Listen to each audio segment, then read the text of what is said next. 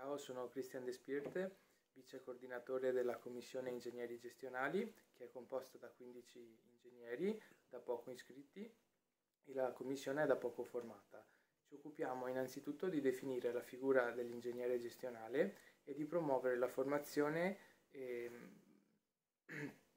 tramite un questionario inizialmente per, che verrà fatto per acquisire tutte le varie indicazioni, i vari pareri che vengono dai le varie persone iscritte all'ordine e successivamente, eh, insieme anche ad altre commissioni, porteremo avanti i temi tipici dell'ingegnere gestionale.